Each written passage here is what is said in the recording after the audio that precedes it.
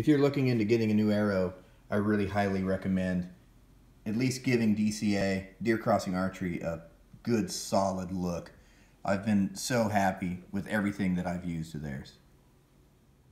Hey gang, I just got this year's shipment of arrows from Deer Crossing Archery. I'm gonna open up and take a look. This year I ordered a dozen hunters, DCA hunters, which are the same ones that I used last year, .001 straightness, and then also a dozen full calibers for 3D and target. Okay, first off, first impression, I really like how the color scheme turned out. The full calibers, they were 250 spines, so we put a 150 grain head uh, in them to try and get the arrow flexing a little bit. I've never shot these before. We're gonna see how they shoot out of my bow, and I sure, I'm sure it's gonna be fantastic. I can see also the little dots on the sides of the arrows where they were all indexed.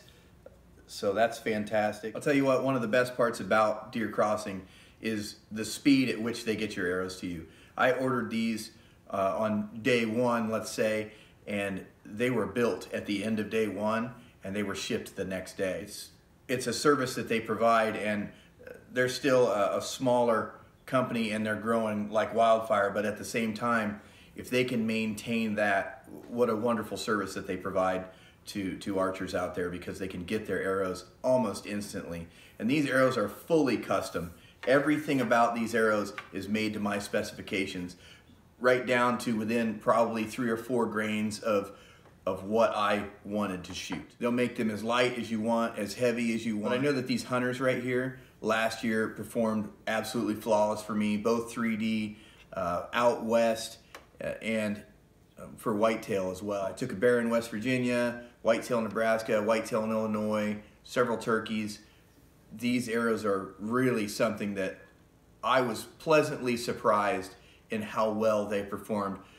You just never know how something's gonna work out and that's why I'm sticking with them. So the full caliber and the Hunter series, you can see your diameter difference there.